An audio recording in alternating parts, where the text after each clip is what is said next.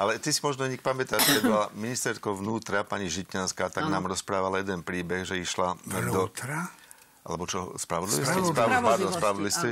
Tak bola na inšpekcii v jednom väzení a chcela vidieť aj celý, dala si otvoriť celu a tam bol odsúdený na 25 rokov a že vážne chcete, vážne chcem ísť, no otvorte mi, tak jej otvorili a ten odsúdený na 25 rokov zbadal je ochrankára a povedal, ahoj Miloš. Tak sa zvítali A ona, že ostala taká chuť hotová s tom.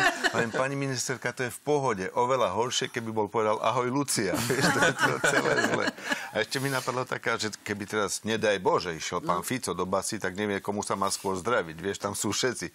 Bašternák, teraz dokonca ten... Ako domov by Ako domov. to. By sa zdravil jednému za druhým. Mňa len čo chcem povedať, že... že... Ja, prepač, ale mi prišiel nám ten kreslený vtip, nie? že sú celí, nejaká chodba pred tými celami vo väzení a z jednej sa ozýva chcem advokáta a z druhej tu som. To je dobré. To je dobré.